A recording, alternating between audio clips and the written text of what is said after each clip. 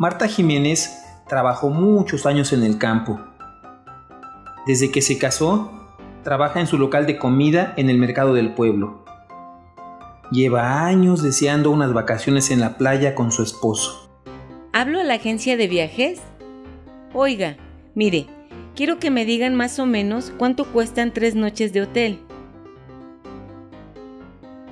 Sí, sí.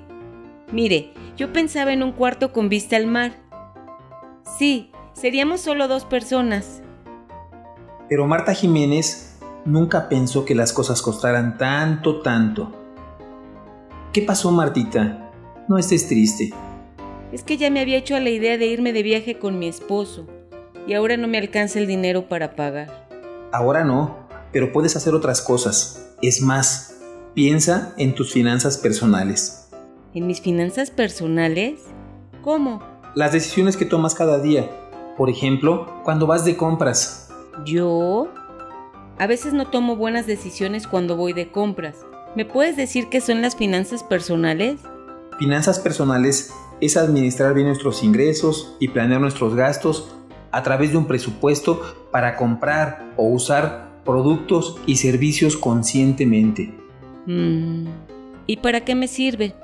Así podemos cubrir nuestras necesidades, evitar gastos innecesarios, ahorrar dinero y establecer una meta financiera. ¿Una meta financiera? Mira, una meta financiera sería pensar en cómo lograr tu objetivo a través del dinero que necesitas y del dinero que puedes ahorrar a la semana, a la quincena o al mes. Yo quiero ir con Ángel a pasear. ¿Y cuánto dinero debes ahorrar por semana para poder alcanzar tu meta? Analizando tus ingresos, vas a encontrar la forma de ahorrar para lograr tu meta financiera en un determinado periodo de tiempo.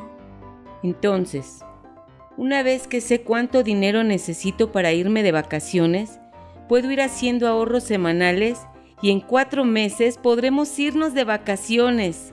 Todo gracias a mi meta financiera. ¿Y ahora, Marta? ¿Qué tanto haces? Es que vamos a ir a pasear. ¿Vamos a ir al cine?